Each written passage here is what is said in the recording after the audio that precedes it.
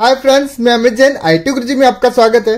दोस्तों, आपके सामने कई बार ये प्रॉब्लम आई होगी कि जैसे मैं एफ़ थ्री दबा रहा हूँ और ये हो रहा है ये ब्राइटनेस ज़्यादा हो रही है, कम ज़्यादा हो रही है। एफ़ टू दबा रहा हूँ तो कम हो रही है एफ़ थ्री दबा रहा हूँ तो ज़्यादा हो रही है। है ना? इस तरीके से। देखो यहाँ पे एफ़ टू एफ़ थ्री पे ब्राइटनेस का बटन दिया हुआ है।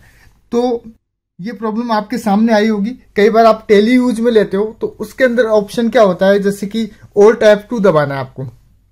तो ओल्ट एफ़ टू दबाने के लिए आपको पहले फ़ंक्शन की दबानी पड़ेगी, फिर ओल्ट फिर एफ़ टू दबाना पड़ेगा।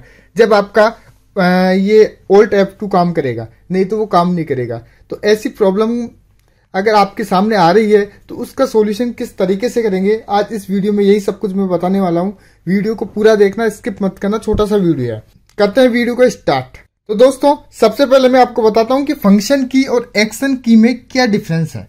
क्योंकि आगे जब अपन बायोस सेटअप में चलेंगे तो वो चीज़ आपके सामने आएगी एक्शन की और फ़ंक्शन की तो मैं आपको बता देता हूँ कि जो F one F two F three लिखा हुआ है, ये तो फ़ंक्शन की होती है। और ये जो दूसरी जो की होती है ब्राइटनेस कम ज़्यादा करने की वॉल्यूम कम ज़्यादा करने की ट्रैक चेंज करने की, और ये एरोप्लेन मोड वाली। तो इस तरीके से ये जो ऑप्शंस होते हैं, वो होते हैं एक्शन की। तो आप कंफ्यूज मत होना कि फ़ंक्शन की कौन सी होती है एक्शन की कौन सी होती है। तो अब अपन इसको चेंज करेंगे। ये ऑप्शन चेंज करेंगे कि आप एप टू दबाओ एफ़ थ्री दबाओ तो आपका फ़ंक्शन की काम करे। तो उसके लिए अपन को क्या करना है, इसके बायोस सेटअप में जाना है। तो सबसे पहले मैं लैपटॉप को करता हूँ सेट डाउन दोस्तों बायोस में जाने के लिए सब मॉडल्स में, सब के अंदर अलग अलग होता है। एचपी के अंदर एफ़ टेन होता है और डेल के अंदर एफ़ टू एफ़ ट्वेल्व होता है। एसर में एफ़ टू होता है। ऐसे अलग अलग होते हैं। आप गूगल करके चेक कर लीजिएगा आपके जो मॉडल है, जो आपका ब्रांड है, उस ब्रांड के हिसाब से उसकी बायोस की होती है। तो ठीक है, मैं इसको ऑन करता हूँ और बायोस में चलते हैं अपन। मैंने एफ़ टेन प्रेस किया और ये बायोस में आ गए अपन। ठीक है अब ये इसका बायोस है। सबका बायोस आपको अलग अलग मिलेगा। सेम बायोस किसी का नहीं मिलेगा। हर मॉडल हर ब्रांड का बायोस अलग अलग आता है। तो अपन इसके अंदर, आप किसी किसी के अंदर ये जो ऑप्शन में बता रहा हूँ, वो आएगा मेन के अंदर। है ना? इसके अंदर है कॉन्फ़िगरेशन में। कॉन्फ़िगरेशन में मैं जा रहा हूँ। और इसके अंदर ये देखिए दोस्तों एक्शन की एक्शन की लिखा हुआ है। और एक्शन की मोड्स के आगे लिखा हुआ है इनेबल तो एक्शन की अपनी कौन सी थी? जो ब्राइटनेस कम ज़्यादा करने वाली, वो इनेबल है अभी। तो अपन इसको डिसेबल कर देंगे।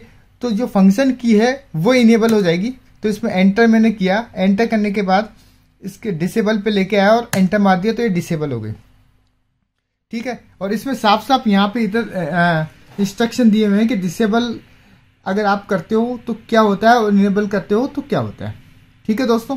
आप इसको भी पढ़ सकते हो और सबके अंदर अलग अलग तरीके से होता है। हो सकता है कि आपके यहाँ पे एक्शन की मोड की जगह फ़ंक्शन की मोड लिखा हुआ हो। हो सकता है कि फ़ंक्शन की बिहेवियर लिखा हुआ हो। तो आपका इनेबल है तो आप डिसेबल कर दीजिए डिसेबल है तो इनेबल करके देख लीजिए।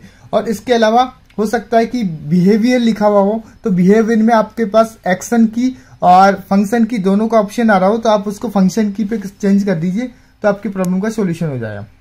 ये करने के बाद आपको इसको सेव करके बाहर निकलना है तो एग्जिट पे आके सेव चेंज एंड एग्जिट पे एंटर मारेंगे।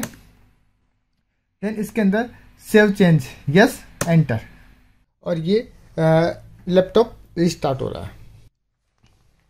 ये देखो दोस्तों, ये स्टार्ट हो गया अब मैं इसको F2 दबा रहा हूँ। ये देखो F2 दबा रहा हूँ। तो कुछ ही नहीं हो रहा। F2 F3 से कुछ नहीं हो रहा। और ये वॉल्यूम कम ज़्यादा करने की कोशिश कर रहा हूँ कुछ नहीं हो रहा। अगर मैं फ़ंक्शन के साथ कर रहा हूँ अगर वॉल्यूम कम ज़्यादा तो ये फ़ंक्शन के साथ काम कर रही है। ठीक है?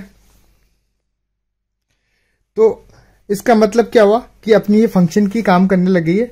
आ, अगर मैं एफ़ फाइव प्रेस कर रहा हूँ तो ये रिफ्रेश हो रहा है। इस पर क्लिक करता हूँ मैं। और F2 का बटन प्रेस करता हूँ F2 का से रीनेम होता है। और ये मैंने एफ़ टू जैसे ही दबाया और ये रीनेम का ऑप्शन इसमें आ गया।